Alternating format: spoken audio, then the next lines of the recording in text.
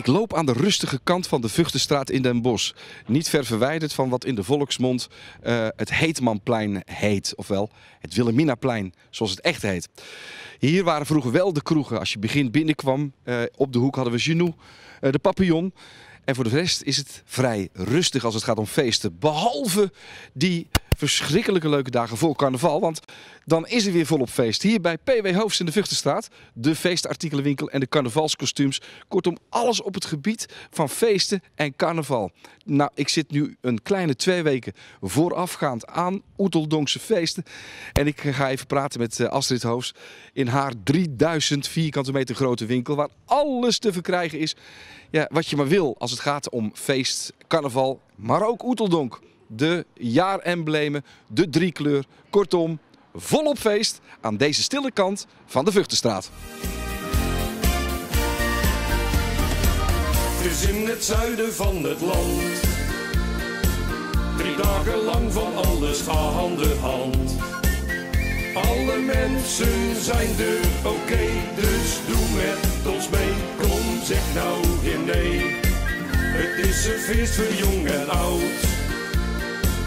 Zo'n feest waar iedereen toch van elkaar houdt. Astrid Hoofd, PW Hoofd in de Vughtenstraat. Je bent een van de weinigen die uh, al wekenlang voor carnaval verkleed is. Ja, dat klopt. Ik ben er helemaal klaar voor. Hè? Het wordt, ook, uh, het wordt ook lekker druk in de winkel. Uh, bijzondere highlights dit jaar. Waar gaat Den Oeteldonker mee verkleed? En een mooie jassen. Jassen zijn echt echte highlights. En daar besteden we ook heel veel aandacht aan. Maar die doen het ook echt hartstikke goed. Ja, je, je blijft wel hofleverancier, dus een echte kiel is natuurlijk ook nog steeds. Alle emblemen heb je in huis? Ja, zeker. Uh, kielen laten we zelf maken. Echt van een heel mooie kwaliteit. Een kiel, blijft een, kiel moet gewoon mooi zijn. Met zakken en gewoon een goede kiel. Maar ook een boerenjasje. Double-breasted, twee, uh, twee knoopjes. Chic, uh, chic boerenjasje. Maar ook de kikkertjes besteden we heel veel aandacht aan.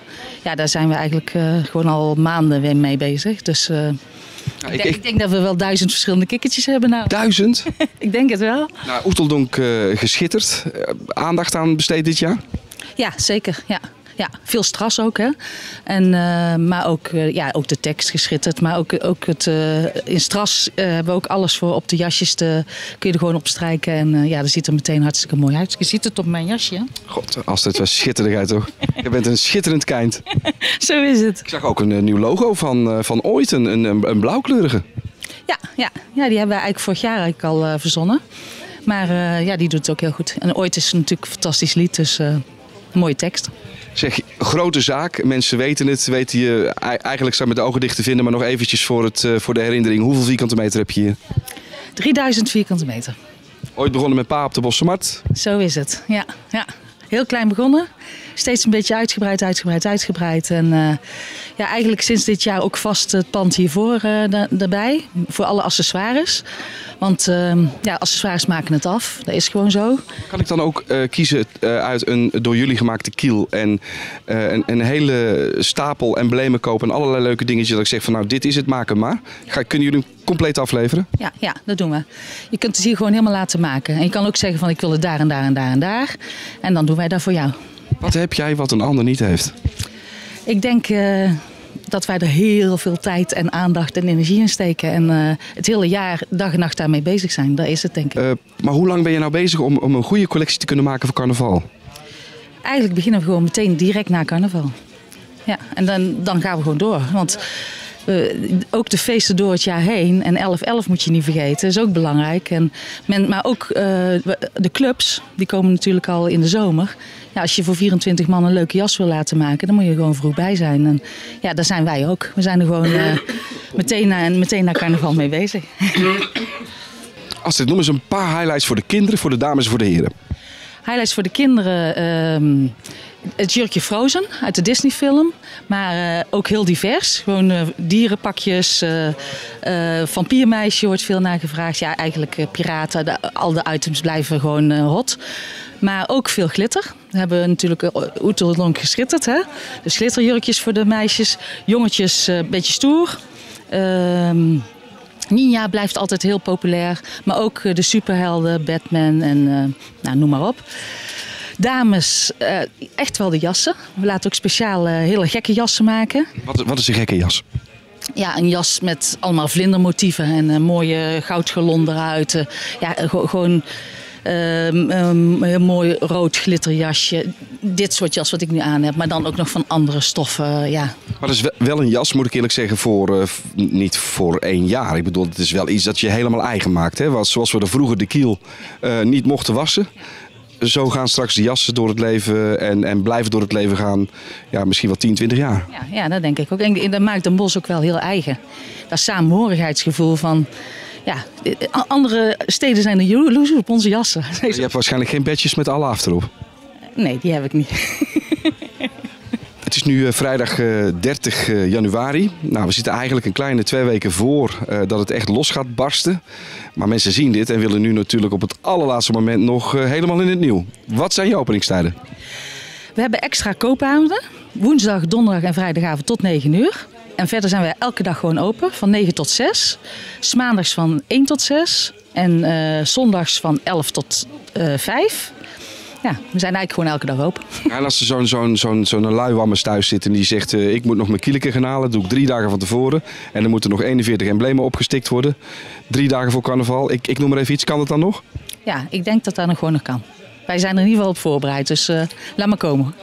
Ik wens je een hele fijne eh, ja, het- voorpret, want mensen komen hier wel heel vrolijk binnen, moet ik zeggen. Ja, hè? en ze gaan ook weer heel vrolijk naar buiten. Het is echt zo- zo'n gezellige winkel hier.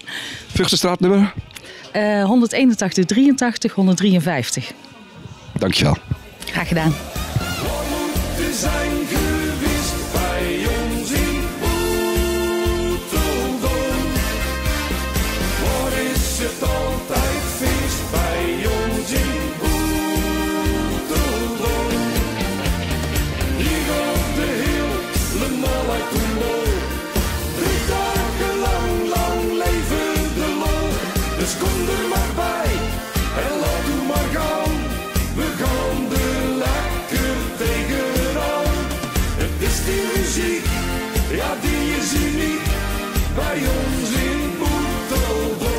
Dat, na het gesprek van Astrid eh, eh, wil ik toch een aanbieding gaan doen. Ik heb natuurlijk een heel mooi jasje aan, een testbeeld eh, jasje. Nou, er is zo verschrikkelijk veel eh, verschillende jasjes. Het is eigenlijk een onderdeel van een compleet pak. Nou ja, er is zoveel te beleven hier in deze 3000 vierkante meter PW Hoofds in de Vugtenstraat. Maar ik ga toch een aanbieding doen voor de dames in dit geval. Want kijk eens, dit is weer zo'n uniek stuk. Een Oeteldonks mini-jurkje, helemaal gemaakt in pailletten met kleine mouwtjes. Verkrijgbaar in de maat 36 tot de maat, de maat 44. Toen ik de prijs vroeg, toen dacht ik van nou, dat klopt iets niet, want dit kost 29,95. Dat is spotgoedkoop. En toch heb ik het voor elkaar gekregen om drie dames blij te maken voor de prijs van 24,95.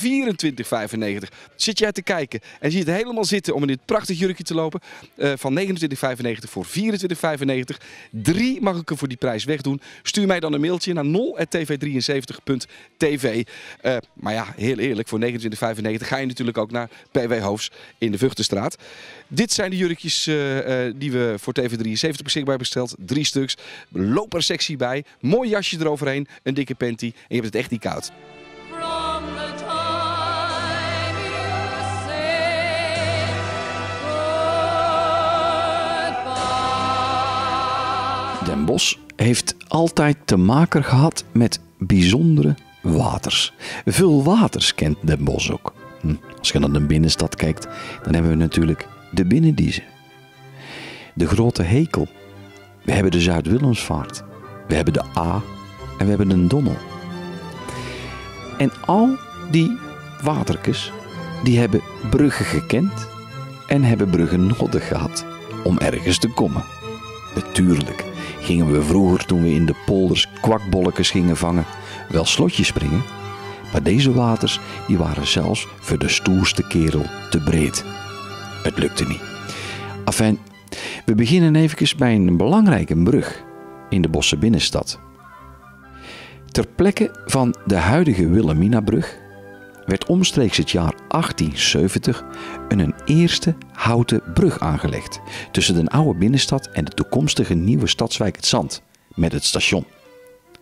En die naam van die brug die kreeg al heel snel een voor de hand liggende naam: Stationsbrug. Want vanuit de toen nog geheten straat Stationsstraat, wat later Visstraat werd, konden helemaal deur kijken naar het station. Er werd van alles rondom die brug gebouwd. Een café-restaurant, voor velen bekend. Maar enkele jaren later werd de brug al snel vervangen door een smalle brug. Een stevigere brug. Waarop een rails kwam te liggen. Want de tram die moest er gebruik van maken. Want dit middel van openbaar vervoer, daar werd de binnenstad met het station aan verbonden. Maar een intree naar de stad vereiste rond het jaar 1920 een, een nieuwere en een veel mooiere brug. En deze brug werd in 1923 gebouwd, versierd met rijk beeldhouwwerk en vervaardigd door de befaamde Hildo Krop. Inderdaad was dit een waardige ingang naar de stad. De brug die kreeg toen ook een officiële naam, de Wilhelminabrug, naar onze toenmalige vorstin, geboren in 1898 en overleden in 1948. In de oorlogsjaren mocht haar naam niet gebruikt worden en in de periode 1942-1944 heette de brug daarom officieel de Stationsbrug. Tijdens de zware gevechten bij de bevrijding van de stad in oktober 1944 werd de Wilhelminabrug onherstelbaar beschadigd. Provisorische herstellingen die werden aangebracht, maar naar een nieuwe oplossing werd gezocht. Enige ornamenten en beeldhouwwerk van de oude brug werden elders in de stad geplaatst. En in 1954 kwam er een nieuwe Wilhelminabrug. De letters W met een kroontje erboven op de brugleuning, die verlicht kon worden, duiden op de naam van de brug. En ook speciale aandacht verdient het beeldhouwwerk van Frans van der Burgt op de twee pilonen. De tafelen uit de Bosse stadsgeschiedenis, die worden daarop vertoond. Te beginnen met de Stadstichting in het jaar 1185 en eindigend met de bevrijding van de stad in het jaar 1944. Deze ruim 60 jaar geleden gebouwde brug werd tussentijds ook nog een keer gerestaureerd. De bebouwing aan de stadzijde is de laatste 100 jaar niet hetzelfde gebleven. Op de noordelijke hoek van de Visstraat verdween het café-restaurant om plaats te maken voor een door Amsterdamse architect P. Pieters ontworpen bankgebouw. De zuidelijke hoek was in 1944 onherstelbaar beschadigd en kreeg een noodbebouwing die jarenlang gehandhaafd bleef. Dit gebouwtje, dat in haar bestaan onder meer een pannenkoekenhuis herbergde, werd gesloopt om plaats te maken voor het bankgebouw dat aan de overzijde te weinig ruimte bezat. En dat vinden wij eeuwige zonde. Maar het is ook fijn dat er in de Visstraat wel heel veel mooie oude panden bewaard gebleven zijn. Dat als de toeristen vanuit het station naar Den Bosch komen, zij een ontdekkingsreis kunnen maken door ons bosse dorpje. Overal zijn herinneringen uit het rijke verleden die onze stad zo onmiskenbaar tot het centrum van de provincie Noord-Brabant hebben gemaakt. Onze straten met schilderachtige namen en gebogen gevelwanden, waarin zowel rijk gedecoreerde panden als eenvoudige trap- en klokgevels voorkomen. En pleinen die in de loop der eeuwen ontstonden als kostbare kralen aan een kilometerslange ketting. En die binnendiezen, waar we het al eerder over hadden, kronkelt overal tussendeur. Ons netwerk van straatjes en steegjes is in de loop der tijd steeds fijnmaziger geworden. Ruimte viel weg en maakte plaats voor intimiteit. In de vorige eeuw is er veel gesloopt en opgeofferd aan het verkeer. En na de oorlog probeerden de slopers opnieuw het heft in handen te nemen. En gelukkig was dat tevergeefs. Het tij keerde ten goede. Sinds de jaren 70 heerst er in Den Bosch de gedachte van behoud en van renovatie.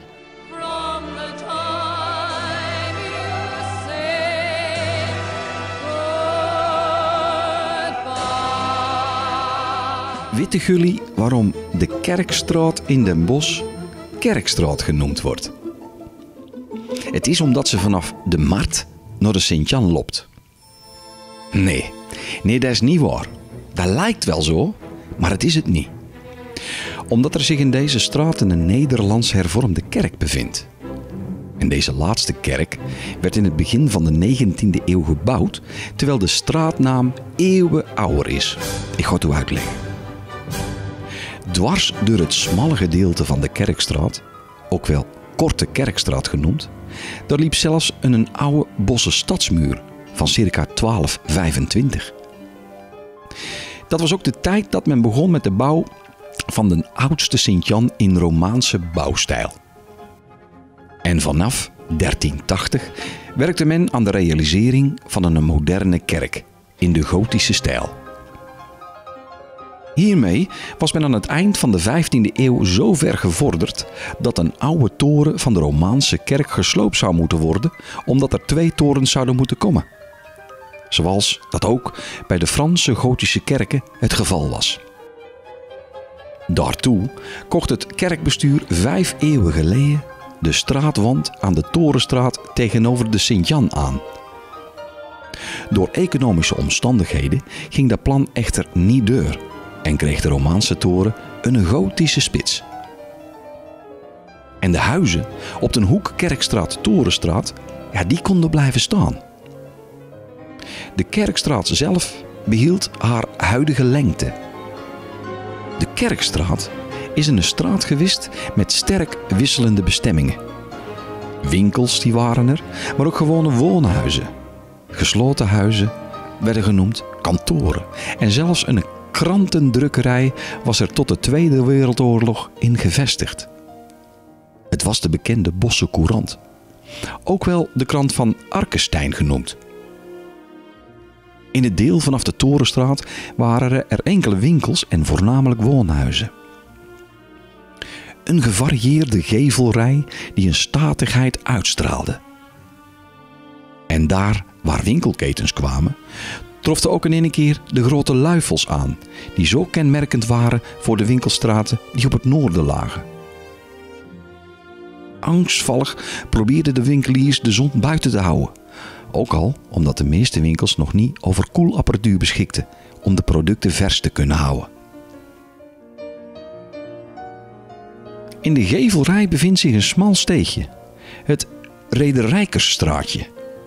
Ooit in de 17e eeuw gaf het toegang tot een schuilkerk achter de huizenrij in de Kerkstraat. In het begin van de 18e eeuw bevond zich in het straatje nog een kleine schouwburg, bespeeld door de rekerijskamer Mozes Bos. Het ging toen echter niet zo goed met deze kamer en daarom werd in 1740 derzelfde goederen en sieraden openbaarlijk verkocht. Maar enkele jaren geleden bracht Mozes Bos als een herinnering aan deze schouwburg een bronzen herdenkingsplaquette aan voor dit straatje. Om de passanten in de Kerkstraat te wijzen op de eeuwenoude rol die de Rederijkerskamer in Zettergenbos speelde en speelt. En het straatje is weer openbaar geworden. Er is op dit moment zelfs een zaak in gevestigd. Vanaf de parade heeft thans een bankgebouw een prominente inbreng in de gevelwand. Het hoekpand detoneerde enorm, maar werd jaren geleden aangepast. Onder meer kreeg het toen ook een dak, waar voorheen slechts een plat dak aanwezig was. Ook is geprobeerd het uiterlijk van de panden in de Kerkstraat te handhaven door gevelrestauratie. Dat is grotendeels gelukt. Maar wie een van de panden nader bekijkt, valt het op dat er een deur ontbreekt. Een gevel met enkel ramen komt onwerkelijk voor en de passant die mist iets voor zijn gevoel.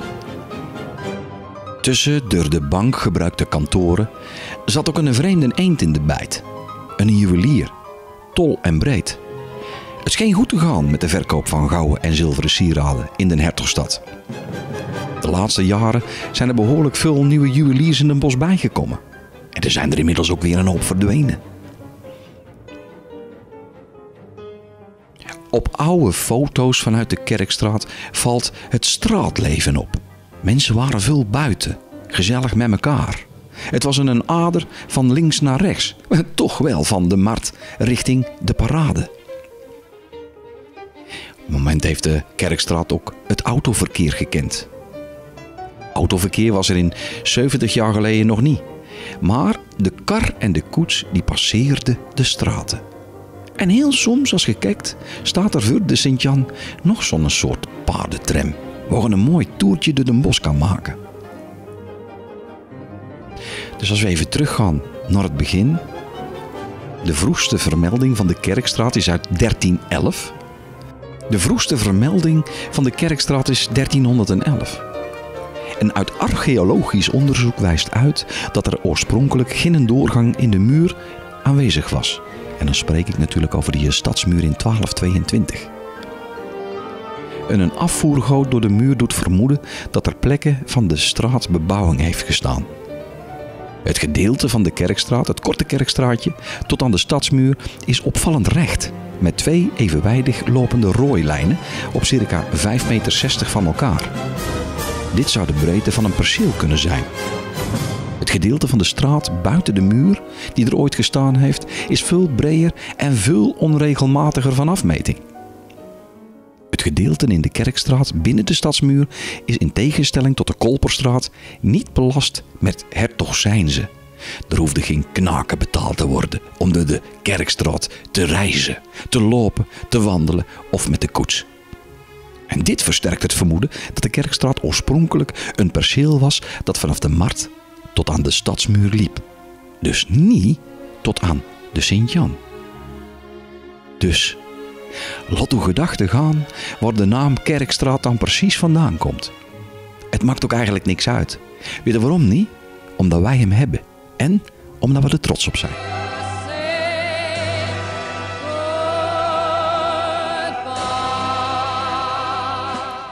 Kastelijnenkampweg. Het is, eh, het is een druk eh, bevolkt eh, gebiedje hier. Ik loop met jullie even mee naar de Rietveldeweg. Kom op. Want ik ben hier bij een pand. En daar ga ik even naar binnen zometeen. Dat is bij Euromaster. Kastelijnenkampweg. Ja, daar zit toch uiteindelijk ook wel die ingang van Euromaster. Maar officieel is het de Rietveldeweg 64D. Ik ga even naar het bord, want Euromaster was altijd toch wel bekend om zijn banden. Zijn winterbanden, zijn zomerbanden, maar ze doen tegenwoordig veel meer. Banden, uitlaten, remmen, schokdempers, accu's, olievers, kleine beurt, APK, onderhoud van alle merken auto's. En ik ga naar binnen, want ik heb een eh, afspraak met eh, de bedrijfsleider hier. En ik ga eens kijken wat ze nou precies allemaal doen bij Euromaster op de Rietveldeweg. Kom op.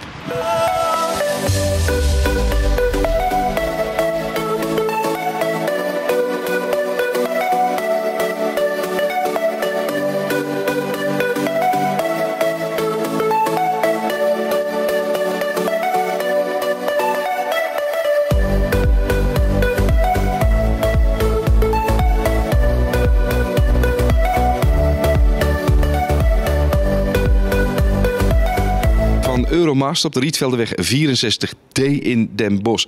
Ja, als ik er voorbij kom, dan denk ik toch automatisch aan banden. Maar misschien doe ik jullie tekort. Eh, nee, de, de gedachtegang is, eh, is vrij logisch. Euromaster is groot geworden in, eh, in banden. Winterbanden, zomerbanden.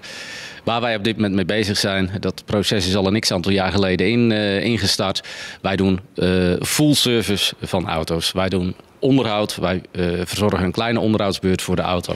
Wij verzorgen een grote onderhoudsbeurt voor de auto. APK-keuringen, uitleidingen, storing zoeken, diagnose stellen, remmen, accu's uitlaten. Alles wat met uw auto te maken heeft, wij lossen het voor u op. Ja, het is een totaal onderhoud zoals je het nu schetst. Ja. Betekent te horen ben je dan een eh, allround eh, garagebedrijf. Geldt het voor alle merken? Ja, wij verzorgen alle, alle merken. We hebben directe onderdelenvoorziening. Vaak dezelfde dag zijn, eh, zijn de onderdelen nog in huis. Op het moment dat, dat wij ze zelf niet op, op voorraad hebben. Dus het is eh 9 van de 10 keer one-stop shopping. 's ochtends brengen en 's middags is de auto gereed, gerepareerd of wat dan ook. Nou, ik heb in alle eerlijkheid gezien dat jullie geen rode loper buiten hebben liggen. De grote merken, de, de autobedrijven hebben dat vaak wel. Dat betekent ook dat die kosten vele malen hoger zijn. En dan wil ik het niet in percentages eh, gaan doen of in prijzen hoor. Maar zijn jullie goedkoper dan de dealer? De rode loper is bij Euromaster niet zichtbaar. En Euromaster heeft Eva. Ja, correct. Eva. Eva staat voor eerlijk, vakkundig en attent. En in dat attent, dat is misschien wel die rode loper waar, waar jij net over, eh, over sprak. Op het moment dat je auto binnenkomt en je hebt een lekke band, want daar komen er toch heel veel auto's mee binnen. Of je hebt een probleem met je remmen, of je wil dat er onderhoud gedaan wordt aan de auto. Dan, dan kijken we niet alleen naar de remmen en dan zetten we niet alleen nieuwe remblokjes op. Nee, we controleren de verlichting. Eh, we controleren de bandenspanning. We controleren de accu. Eh, de airco, die had ik net niet genoemd, wordt even gecontroleerd op de uitstroomtemperatuur en op het, eh, op het aantal druk wat, eh, wat nog in het systeem zit. En dat is nou de rode loper die wij bij Euromaster bedoelen, die je niet ziet, maar wel ervaart. Ja, precies. Ja, mooi gezegd trouwens. Een, een- we hebben wel een rode loper, maar je ziet hem niet. En dat vertaalt zich terug in onder andere de prijs. Ehm, ja, mijn laatste vraag is: eh, een auto eh, heeft afkeur en heeft een lijstje. Kunnen ze met het lijstje bij jullie terechtkomen om ervoor te zorgen dat die auto weer goedgekeurd wordt? Ja. Nou, wij zorgen natuurlijk ook voor APK-keuringen van, eh, van voertuig. Vaak in combinatie met een eh, onderhoudsbeurt. Ben je de auto ook maar één keer, eh, één keer kwijt, één dag. APK-keuring wordt gedaan, wordt onafhankelijk gedaan. Eh dat is een objectieve keuring. Daarnaast Doen jullie dat zelf? Nee, wij doen dat bij Van Abelen Keuringen, onafhankelijk keuringstation hier, hier in Den Bosch. Eh, dat geeft ook aan, op het moment dat die afgekeurd is, dan is die ook daadwerkelijk afgekeurd. Dan kan er nooit een addertje onder het gras zitten van, goh, ze willen op die manier misschien nog wat verdienen aan mij. Dat is het grote voordeel van een extern keuringsstation. Ehm, op het moment dat er reparaties, adviespunten zijn eh, om voor, door de APK goedgekeurd te krijgen, dan komen wij met een prijsopgave netjes naar de klant toe, zodat hij vooraf weet, dit kost de APK-keuring, dit kost de reparatie. En voor dat bedrag is uw auto weer voor één of twee jaar APK gekeurd. Dan ben ik eh, vaak ad hoc. Ik laat altijd eh, tot op het laatste moment eh, dingen liggen. En nu word ik door de politieagent aangehouden omdat mijn ene lampje niet brandt. En ik moet naar de eerste beste en dat wordt natuurlijk Euromaster. Mag ik dan binnenkomen of heb ik een wachtrij? Altijd welkom. Je bent altijd welkom. Wij zeggen hier geen nee. Soms moet je eventjes 10, 20, klein half uurtje wachten. Dat, dat kan natuurlijk altijd. We, moeten in kunnen, eh, we hebben een proces, da- daar moet ik eventjes op in kunnen grijpen. Maar met een lekke band of een korte reparatie, eh, een onderhoudsbeurt, dat plannen wij natuurlijk het liefst op afspraak. Eventueel het uitlijnen van, eh, van het voertuig. Eh, dan weet je ook waar je aan toe bent. Dan word ik op dat moment direct geholpen. Maar als er iets met de auto is wat aandacht nodig heeft, kom langs bij Euromaster. En tussen, tussen 8 en 5, je wordt standaard geholpen.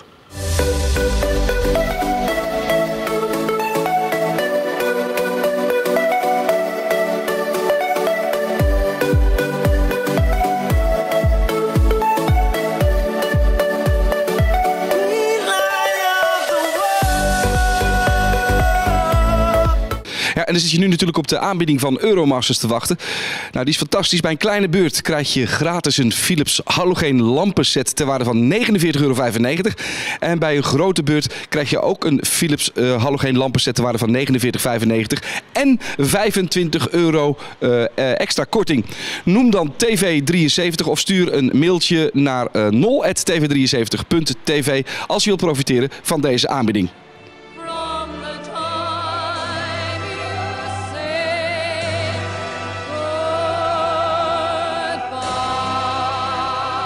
Terwijl we met elkaar lekker dwalen door Den Bosch, over zijn stratjes en pleintjes, en in de verte een vogeltje verfluit op een van de mooie trapgeveltjes van de Bosse binnenstad. Ja, dan voelden wij je thuis. Dan weten dat je een bossenaar bent. De Hoge Steenweg. Hoe vaak heb je daar al niet overheen gelopen? Vroeger misschien om er naar de bioscoop te gaan, of nu misschien wel naar de Mac. De Hoge Steenweg dankt zijn naam aan een met plaveistenen bedekte straatweg over een hoger gelegen terrein. Het hoogste punt van de stad is gesitueerd op de aansluiting van de Hoge Steenweg met de scheidingsstraat Pensmarkt. Hier stonden de eerste huizen van Sertogenbos. Beide straten hadden al eind 13e eeuw stenen woningen. Percelen aan de linkerkant van de Hoge Steenweg, gezien vanuit de markt, werden aan de achterkant ontsloten door een zogenaamde achterstraat. En deze achterstraat die is later Karrestraat gaan heten. En deze straat ligt nog steeds ongeveer een meter lager dan de Hoge Steenweg. Dat zou het niet zeggen. Als je dan zo vanuit die Karrestraat de Visstraat inloopt en op de Hoge Steenweg uitkomt, je eigenlijk aan het klimmen bent. Tussen de Hoge Steenweg 25 en 27 lag vroeger het Kerkstraatje, dat tot aan de Marktstroom liep. Halverwege het smalle steegje splitste zich een zijsteegje af, dat via een brug over de Markstroom doorliep tot achter de tolbrug. De naam van het kerkstraatje komt van een schuilkerk, die hier in de 17e en 18e eeuw heeft gestaan. Voor die tijd werd het aangeduid als gemeen Gengske. Het straatje was dus openbaar. Er stond toen een groot huis, enkele kameren, Dat waren eenkamerwoningen. En zeven huisjes met daarachter een bleekveld.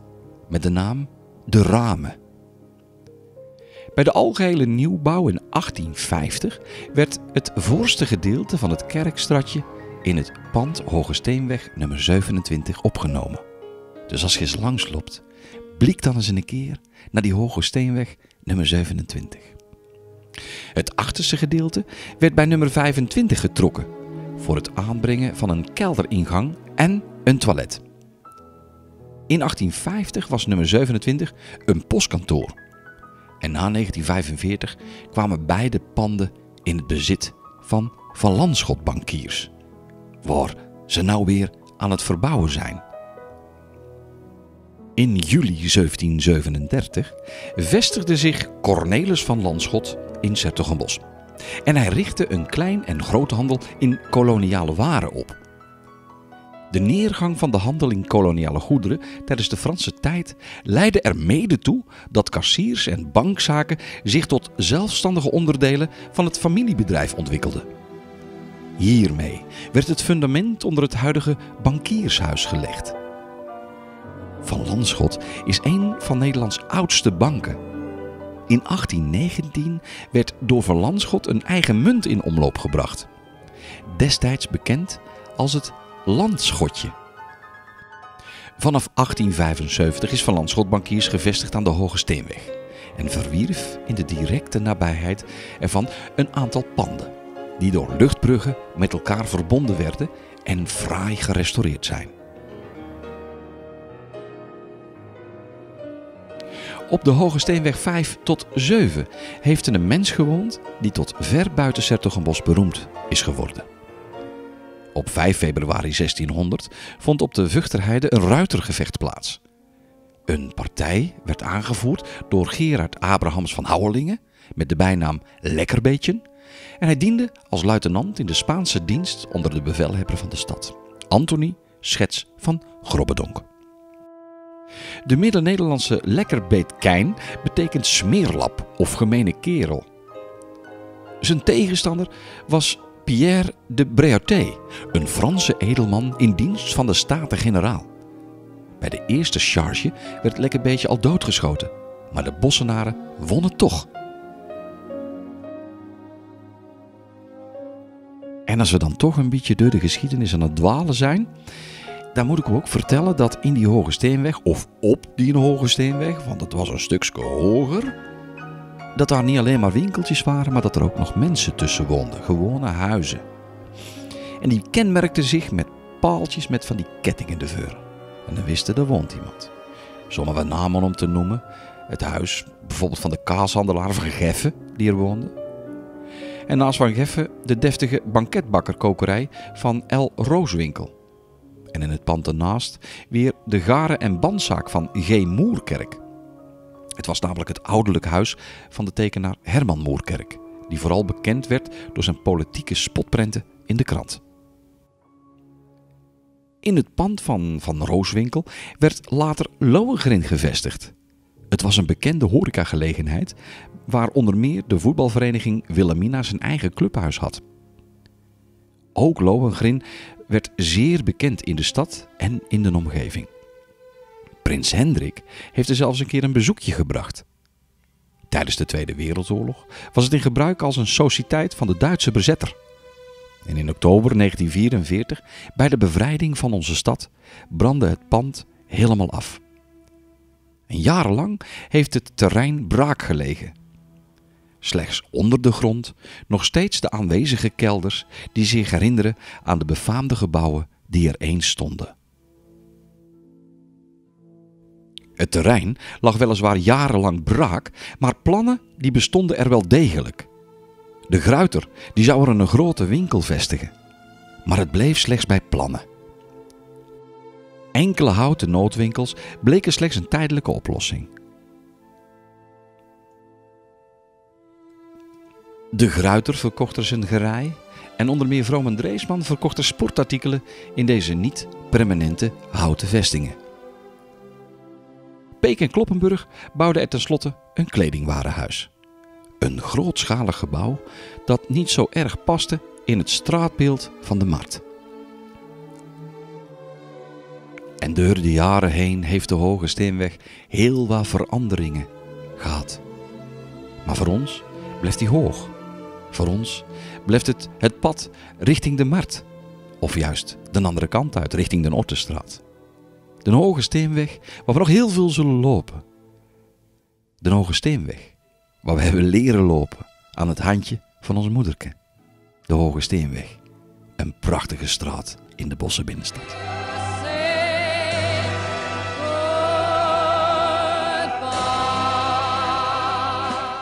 Ik sta hier bij de grootste school van Zettergenbos en omgeving, het Koning Willem I College. Zij hebben morgen een open dag en ik ga eens even naar binnen om te kijken wat ze daar allemaal te bieden hebben. Ik heb een afspraak met Desiree Vonk, coördinator van de open dag en voorlichter van de school.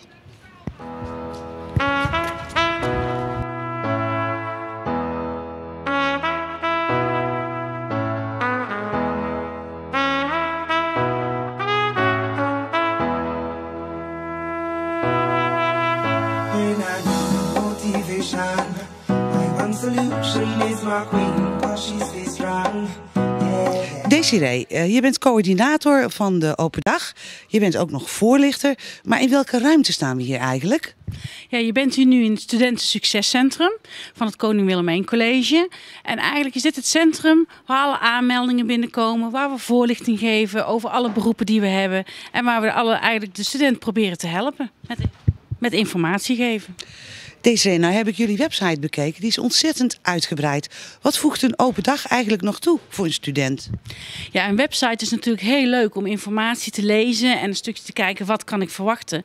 Maar ja, je moet echt, kunnen, echt komen om te kunnen voelen eigenlijk van wat een opleiding nu is.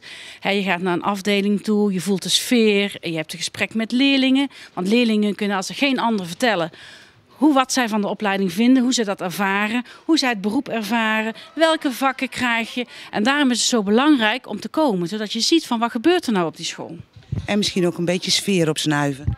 Ja, sfeer opschuiven, want ja, je moet je wel thuis voelen op een school. Een opleiding is heel belangrijk en het is vaak voor meerdere jaren. Dus het is gewoon heel belangrijk dat je je thuis voelt, je veilig voelt op een school en denkt, nou, daar voel ik me thuis, daar, daar kan ik mijn plekje vinden. Nou ja, we hebben 13.000 leerlingen, dus dat is echt veel. Hè. Als je van een VMBO of een andere school komt, die zijn allemaal kleinschalig.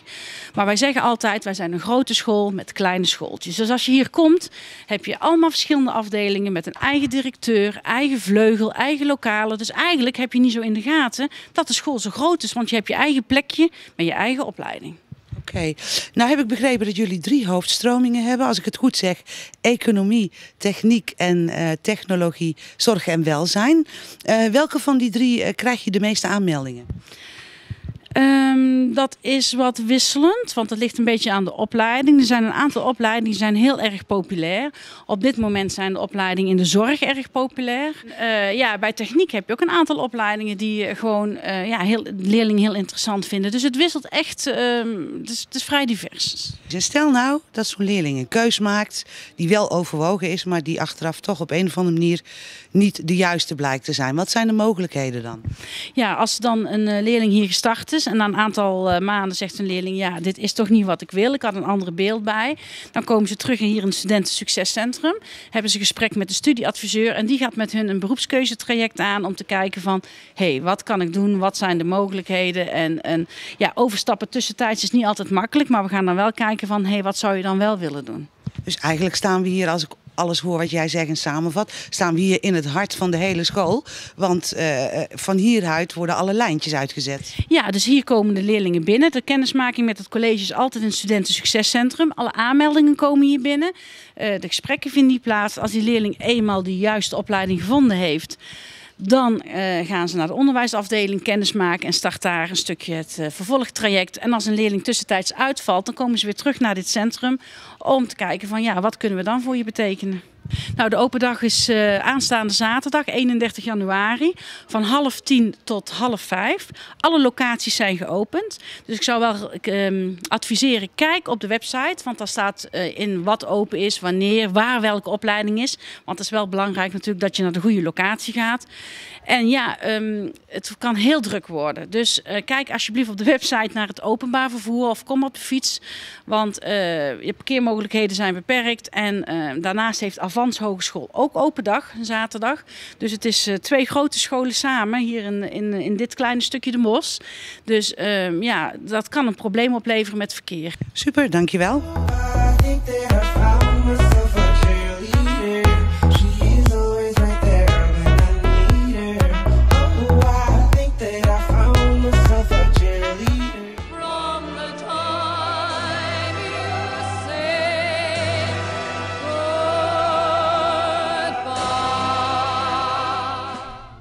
40-plussers onder de Bossenaren kennen hem ongetwijfeld. Maar bij veel jongeren zal er geen bel gaan rinkelen. Janus Borgs, ofwel Janus Kiep, geboren in 1914 en gestorven in 1981. Een verstandelijk gehandicapte man was vanwege een akelige verminking in zijn gezicht in Zettogenbos vooral bekend als Janus Kiep of Janus Kiepoog. De verminking zag eruit alsof hij voortdurend een hele nadrukkelijke knipoog gaf. Het bosse woord kiep betekent knijpen, dus een oog dichtknijpen. Rond Janus deden tal van verhalen de ronde. Verhalen die al bij zijn leven bijna uitgroeiden tot legendes. De mooiste was dat hij in de Tweede Wereldoorlog zijn verminkte gezicht zou hebben opgelopen bij een reddingsactie van een gezin aan de Graafse weg toen er op een huizenrij nabij de Bartjeskerk een neergeschoten Britse bommenwerper was neergestort. Daarbij kwamen zeven mensen om het leven, maar werden acht kinderen en twee volwassenen door omstanders uit het brandende huis gehaald. Janus hield met name dat verhaal graag in stand. Maar veel mensen, die wisten beter. Maar ze gunden hem die status. Maar als je goed gaat spitten in de archieven, dan kun je eigenlijk al zien dat dat niet helemaal klopt. Want op de foto van Janus als 12-jarige is al heel duidelijk de verminking zichtbaar. Wat natuurlijk niet uitsluit dat Janus wel degelijk bij die reddingsactie betrokken is geweest. Maar het voorval kan niet de oorzaak zijn van de verminking. Met betrekking daartoe is het verhaal aannemelijker dat hij als kleuter met zijn gezicht tegen een gloeiende kachel is gevallen. Maar het meest voor de hand liggend is toch dat er sprake was van een vergroeiing. Brandwonden had Janus immers niet in zijn gezicht. Janus was bij leven één van de bekendste verschijningen in de bosse straatbeelden. Hij was altijd nadrukkelijk aanwezig met zijn slungelachtige postuur en onverzorgde uiterlijk. Maar hij was allerminst vervelend. Behalve hem niet meer rust liet. Janus uitte zijn voorliefde voor de stad. Het Koningshuis, de Zoete Moeder, in de Sint-Jan en vooral Oeteldonk. Hij verdiende de kost als bloemenverkoper op straat. Zonder vergunning, maar zijn handeltje werd terecht geduld. Janus was vaak te vinden met een ingang van de nieuwe V&D en bij de Mariakapel. Zijn Mariakapel. Janus was een enorme liefhebber van carnaval. Wellicht omdat hij tijdens die dagen niet echt opviel tussen de duizenden feestvierders. Hij liep graag per traditie altijd voor op de grottenoptocht uit. Hij wilde ook graag ten intocht van de prins op zondag gaan, maar die rol was al geclaimd door Frans van Asper en zijn echtgenote, de uitbater van Museumke de Poffer in de Postelstraat. Ook een bekende bossenaar en curieuze verschijning met zijn vulste grote bontjas. Janus zelf, hij werd niet oud. Hij overleed op 5 oktober 1981. Eén dag voor zijn 67ste verjaardag. En het wrange was dat Janus na zijn dood plotsklapt meer vrienden had dan tijdens zijn leven. Ja, er waren natuurlijk uitzonderingen, maar de meeste notabelen die mede Janus als de pest. Na diens dood verdrongen ze elkaar om vooraan te kunnen zitten in de Sint-Jan, die bij de begrafenis van Janus afgelaaien vol zat. De gemeente Zertogenbos onderscheidde zich in zeer positieve zin.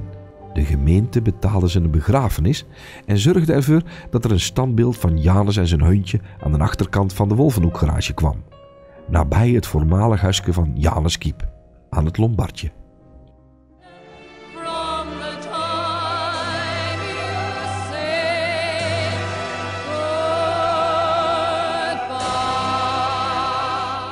Op 12 oktober 1950 maakte burgemeester Loef in de gemeenteraadsvergadering bekend dat er spoedig een nieuw station zou komen en dat er bovendien een Amerikaans bedrijf zich zou vestigen in Den Bosch. Remington. De tekeningen werden goedgekeurd en ruim een half jaar later, eind juni 1951, konden de achtjarige Ingrid van Meerwijk, de dochter van de Remington-directeur, en de vierjarige Dirk Loef, de zoon van de burgemeester, de eerste steen metselen. De gemeente bouwde de fabriek, die Remington voor 30 jaar zou huren. Het ging allemaal heel snel. Directeur van Meerwijk verklaarde dat hij zich nauwelijks kon voorstellen dat er een overeenkomst met een gemeente ooit zo snel en met zo weinig papieren romslomp werd aangegaan en werd afgewikkeld. Begin 1952 werd de montageafdeling van Zeist naar onze hoofdstad gebracht en even later de productieafdeling. Van de 200 arbeiders in Zeist werden 40 arbeiders ontslagen en de anderen die konden in Den Bosch komen werken. In onze stad startte Remington met 80 personeelsleden die in één week tijd 70 typemachines maakten. Aan het eind van de jaren 50 maakten 800 arbeiders 2100 machines per week. In de jaren 60 breidde de productie zich verder uit. Duizend man leverde per dag 1000 kofferschrijfmachines, waarvan 98% geëxporteerd werden. Aan het eind van de jaren 60 begon de productie van fotokopieerapparaten. En dit ging gepaard met een enorme personeelsuitbreiding. Maar de tijden veranderden in de jaren 70. Eerst kreeg het personeel te horen dat het in plaats van draagbare typemachines 1600 per dag, hè, toen, hè, 1600 per dag van die draagbare typemachines, nu voortaan elektronische machines zou gaan produceren en dat dit gepaard zou gaan met een nieuwe personeelsuitbreiding.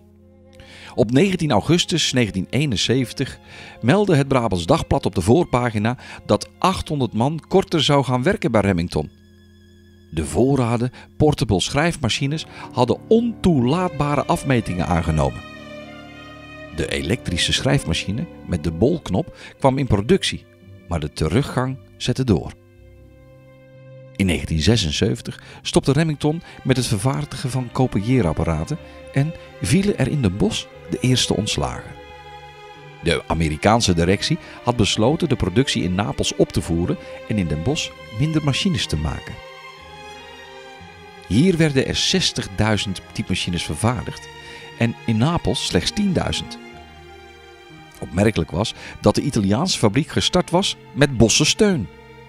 Wat opviel was de uitspraak van de directie dat deze beslissing medegenomen was op wens van de Nederlandse regering, die als EG-partner bezorgd zou zijn over de sociale omstandigheden in Italië. In mei 1981 werd de bossenfabriek van Remington failliet verklaard. Een maand later was de productie weer op gang gekomen. Een groep Arabische investeerders had de fabriek gekocht. Remington heette nu voortaan BSI, Business System Incorporated. Door Bossenaren ook wel de Bosse schrijfmachine-industrie genoemd. Ook BSI. Maar deze transactie in 1981 bleek niet te kloppen. Processen tussen de Arabieren en de Amerikanen waren het gevolg. In mei 1985 werd BSI failliet verklaard.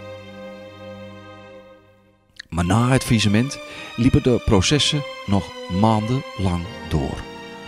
En vandaag de dag is het hele gebied daar achter het station compleet veranderd, vernieuwd. Er wonen mensen, er is rechtspraak, er kan gegeten worden. Je kunt een drankje nemen op een terrasje. Of je kunt wandelen langs de vele nieuwe straatjes. Het is een gezellig druk, er zijn veel scholen en je kijkt de uit. Ga toch eens een keer wandelen daar.